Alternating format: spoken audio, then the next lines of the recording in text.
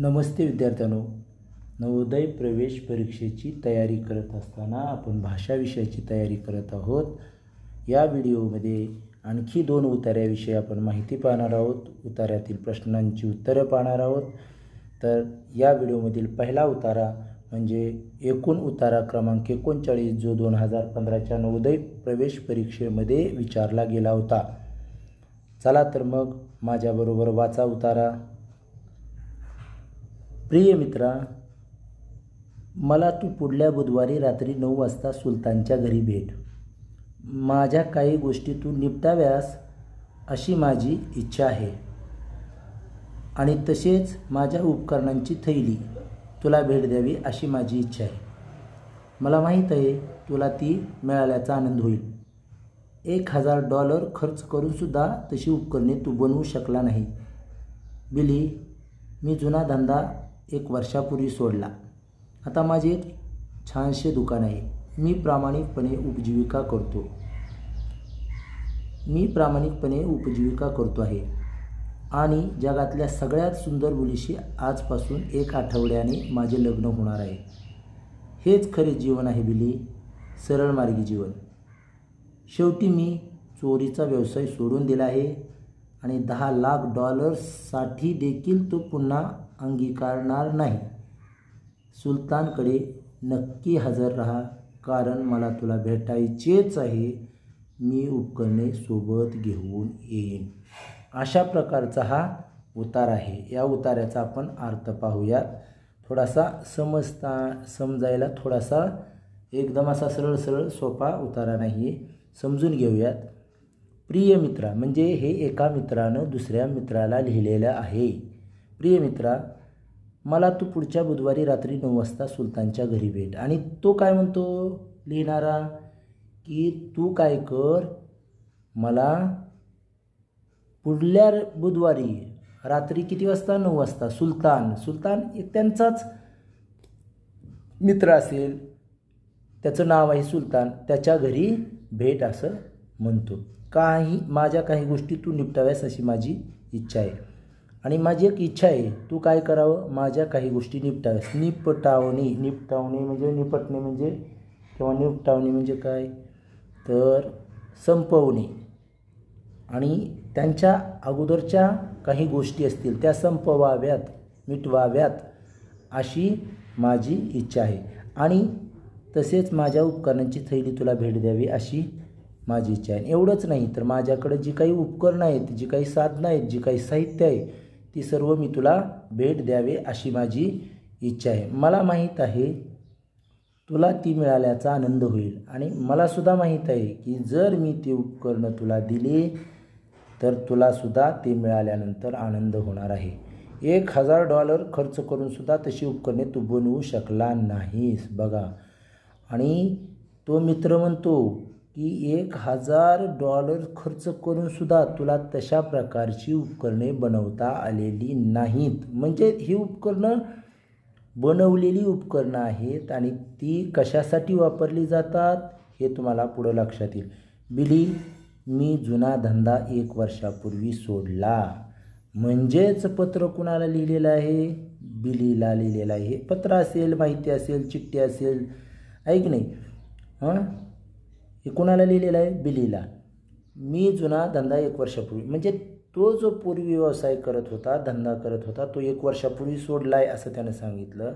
आता माझे एक छानसे दुकान आहे. मी आता काय टाकलेलं आहे? एक दुकान टाकलेलं आहे. मी प्रामाणिकपणे उपजीविका करतो आहे आणि जगातल्या सगळ्यात सुंदर मुलीशी आजपासून एक आठवड्याने माझे लग्न होणार आहे. आणि आता मी प्रामाणिकपणे म्हणजे त्याचा पूर्वीचा व्यवसाय प्रामाणिकपणाचा नसेल प्रामाणिकपणे उपजीविका करतो. उपजीविका करणे म्हणजे जीवन जगणे दैनंदिन जीवन जगणे. आणि मी प्रामाणिकपणे जीवन जगत आहे आणि पुढच्याच आठवड्यामध्ये एक आठवड्यानं जगातल्या सगळ्यात सुंदर मुलीशी माझा काय होणार आहे? विवाह म्हणजे विवाह. इथं लग्नच दिलेलं आहे. लग्न होणार आहे. आहे की नाही? हेच खरे जीवन आहे बिली. आणि प्रामाणिकपणे जगणे हेच खरं जीवन आहे असं तो आपल्या मित्राला बिलीला म्हणतो सरळ मार्गी जीवन सरळ मार्गी. म्हणजे आपण सरळ जगलं पाहिजे प्रामाणिकपणे जगलं पाहिजे कुणालाही फसवलं नाही पाहिजे अशा पद्धतीचं जीवन हेच खरं जीवन आहे. शेवटी मी चोरीचा व्यवसाय सोडून दिला आहे. आणि आता लक्षात घ्या त्यानं सांगितलं यांचा व्यवसाय काय होता पूर्वीचा? चोरीचा व्यवसाय होता. आणि दहा लाख डॉलर्ससाठी देखील तो मी पुन्हा अंगीकारणार अंगीकारणार नाही. आणि आता मला दहा लाख डॉलर्स म्हणजे कितीही मोठी किंमत दिली कोणत्याही हर परिस्थितीमध्ये आणि कितीही मोठी रक्कम मिळाली किंवा काहीही झालं तरी मी तो व्यवसाय पुन्हा अंगीकारणार नाही स्वीकारणार नाही. सुलतानकडे नक्की हजर राहा कारण मला तुला भेटायचेच आहे मी उपकरणे बरोबर घेऊन येईन. आणि तू काय कर सुलतानकडे नक्की सांगितलेल्या वेळी हजर राहा कारण मला तुला भेटायचेच आहे आणि तुला बघा मी उपकरणे बरोबर घेऊन येणार आहे असं तो म्हणाला तुझा जुना मित्र जिमी आणि तुझा मित्र म्हणजे हे कोणी लिहिलं आहे रे? जिमीने लिहिलेलं आहे. कोणी पत्र लिहिलं आहे जिमीनं. आलं लक्षात? हा उतारा दोन हजार पंधराच्या परीक्षेमध्ये आलेला उतारा आहे. आता यावरील प्रश्न पाहूयात आपण. चला प्रश्न पहिला आहे. बघा या ठिकाणी प्रश्न पहिला काय दिलेला आहे? तर बघा प्रश्न पाहत असताना आपल्याला लक्षात येईल पहिला प्रश्न हे पत्र कोणाला लिहिले आहे? इथं लक्षात घ्या. कोणाला लिहिलेलं आहे म्हणलं कोणी लिहिलेलं आहे नाही? कोणाला? एका मुलीला बी सुलतानला सी बिलीला आणि डी जिमीला तर निश्चितपणे कोणाला लिहिलेलं आहे? बिलीला लिहिलेलं पत्र आहे. आणि कोणी लिहिलेलं आहे? जिमीने लिहिलेलं आहे आहे की नाही? कारण खाली आपण वाचलं तुझा जुना मित्र जिमी म्हणजे जिमीने लिहिलेला आहे. कोणाला? बिलीला. पर्याय क्रमांक सी हे उत्तर.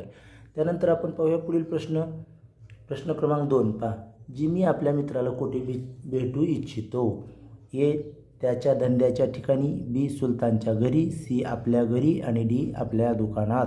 तर निश्चितपणे उत्तर आहे बी सुलतानच्या घरी. त्यानंतर तिसरा प्रश्न पहा.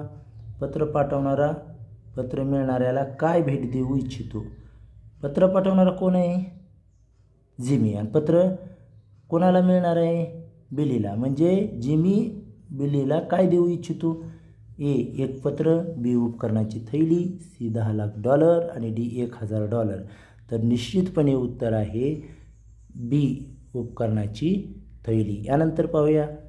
प्रश्न चौथा. काही गोष्टी निपटाव्यास. येथे निपटणे म्हणजे ए टिपून घेणे बी संपवणे सी बनवणे आणि डी भेट देणे. तर मी बोलत बोलत तुम्हाला उतार्यामध्ये पण सांग सांगितलं पहा. निपटावणे म्हणजे काय रे? कायमचे संपवून टाकणे मिटवणे. या ठिकाणी आपल्याला काय पर्याय येईल? बी हे आपलं उत्तर येणार आहे संपवणे. जी मी आता कशी उपजीविका करीत आहे. पूर्वी जरी त्याचा चोरीचा व्यवसाय असेल तरी आता आता विचारलं आता कशी उपजीविका करीत आहे? ए आपल्या नवीन दुकानाच्या आधारे बी सगळ्यात श्रीमंत मुलीशी लग्न करून सी आपली उपकरणाची थैली विकून आणि डी आपली उपकरणे भेट देऊन. तर निश्चितपणे तुमच्या लक्षात येईल की पर्याय क्रमांक ए हे त्याचं उत्तर आहे. अशा पद्धतीने उतारा क्रमांक एक आपण वाचला त्यावरील प्रश्न सोडवली आहेत. यानंतर पाहूयात या व्हिडिओतील उतारा क्रमांक दोन आणि एकूण उतारा क्रमांक चाळीस. माझ्याबरोबर उतारा तुम्ही वाचायचा आहे मनात वाचा किंवा मोठ्यानं वाचा. एका दुपारी एका व्यापाऱ्याला आपल्या स्वयंपाकघरात एक साप आढळला. त्याला कसे ठार मारायचे हे त्याला हे त्या व्यापाऱ्याला माहीत नव्हते. म्हणून त्याने त्या सापाला एका भांड्याखाली झाकले आणि तेथेच ठेवले. नंतर तो आपल्या मित्रांना भेटण्यासाठी बाहेर गेला. त्या रात्री काही चोर त्या व्यापाऱ्याला व्यापाऱ्याच्या घरात शिरले. ते स्वयंपाका स्वयंपाकघरात शिरले आणि त्यांनी ते भांडे पाहिले. आहा ते उद्गारले. व्यापाऱ्याने ते काहीतरी मौल्यवान लपवून ठेवले आहे. चला आपण ते घेऊया. त्यांनी ते भांडे उचलले आणि त्या सापाने त्यांना दंश करण्याचा प्रयत्न केला. चोर घराबाहेर पळाले. त्यांना काहीही चोरता आले नाही. अशा पद्धतीचा हा उतार आहे. आपण पाहूयात याचा अर्थ समजून घेऊ सोपा आहे. उतारा काही अवघड नाही. एका दुपारी एका व्यापाऱ्याला आपल्या स्वयंपाकघरात एक साप आढळला. एका दुपारी म्हणजे दुपारची वेळ होती आणि त्यावेळी एक व्यापारी होता. त्याच्या घरात त्याला काय आढळला? साप. तो पण कुठं? स्वयंपाकघरात आढळला. त्याला कसे ठार मारायचे हे त्या व्यापाऱ्याला माहीत नव्हते. म्हणून त्याने त्या सापाला एका भांड्याखाली झाकले आणि तेथेच ठेवले. बघा आणि साप तर दिसला साप आढळला परंतु त्या सापाला कसं मारायचं हेच त्या व्यापाऱ्याला माहीत नव्हतं. म्हणून त्यानं काय केलं? त्या सापाला एका भांड्याखाली झाकले आणि ते भांडे तसेच ठेवले. नंतर तो आपल्या मित्रांना भेटण्यासाठी बाहेर गेला आणि तो व्यापारी नंतर आपल्या मित्रांना भेटण्यासाठी कुठे गेला? बाहेर गेला. बाहेर कशासाठी गेला? मित्रांना भेटण्यासाठी गेला. त्या रात्री काही चोर त्या व्यापाऱ्याच्या घरात शिरले. ते स्वयंपाकघरात शिरले आणि त्यांनी ते भांडे पाहिले. आणि बघा त्या रात्री काय झालं की काही चोर त्या व्यापाऱ्याच्या घरामध्ये शिरले. चोर म्हणल्यावर चोरी करण्यासाठी आले होते आणि ते ज्यावेळी त्या स्वयंपाकघरात गेले त्यावेळी त्यांनी ते भांडे पाहिले. हा ते उद्गारले. व्यापाऱ्याने ते काहीतरी मौल्यवान लपून ठेवले आहे. चला आपण ते घेऊया. आणि ते पाहिल्यानंतर चोरांनी उद्गार काढले. चोर म्हणाले आहा आता आपल्याला काहीतरी छान सापडणार आहे. हां? आणि व्यापाऱ्याने काहीतरी या भांड्याखाली काय केलेलं आहे? लपवून ठेवलेलं आहे असं म्हणाले. चला आपण ते घेऊन जाऊया. त्यांनी ते भांडे उचलले आणि त्या सापाने त्यांना दंश करण्याचा प्रयत्न केला. आणि बघा दो द्वंश दंश करणे म्हणजे दंश करणे म्हणजे काय रे? चावणे चावणे ऐक नाही मग ज्यावेळी त्या चोराने ती भांडे उचलले त्यावेळी त्या भांड्याखाली असणाऱ्या सापाने त्यांना चावण्याचा प्रयत्न केला. चोर घरातू घराबाहेर पळाले त्यांना काही चोरता आले नाही. आणि मग सापाला पाहून चोर काय झाले? घाबरून घराबाहेर पळाले आणि त्यांना त्या व्यापाऱ्याच्या घरातून काहीही चोरता आले नाही. अशा पद्धतीचा उतारा चला आपण या उतार्यावरील प्रश्न पाहूयात. तर पहा प्रश्न आहे पहिला. प्रश्न काय आहे बघा पहिला प्रश्न? तर आपल्या लक्षात येईल व्यापाऱ्याला आपल्या स्वयंपाकघरात काय आढळले? ए एक साप बी एक भांडे सी एक चोर डी एक कंठी. कंठी आहे का? तर काय सापडलं? आढळलं होतं एक साप आढळला होता. त्यानंतर आपण पाहूया प्रश्न क्रमांक दोन. तर प्रश्न दुसरा असा आहे पहा काय आहे प्रश्न दुसरा? तुमच्या लक्षात येईल की त्याने सापाला भांड्याखाली झाकले. त्याने म्हणजे कोणी रे? व्यापाऱ्याने. कारण ए त्याला साप बाळगायचा होता. बी त्याला चोरांना घाबरून पळवायचे होते. डी त्याला वाटले साप उपयोगी येईल. आणि डी सापाला कसे ठार मारायचे हे त्याला ठाऊक नव्हते. तर निश्चितपणे तुमच्या लक्षात येईल की डी सापाला कसे ठार मारायचे हे त्यांना त्या व्यापाऱ्याला माहीत नव्हते. त्यानंतर आपण पाहूया उता उतार्यावरील प्रश्न की क्रमांक तीन रात्री त्या घरी कोण आले? ए व्यापारी बी चोर सी साप आणि डी मित्र. निश्चितपणे तुम्हाला उत्तर समजलेलं आहे चोर.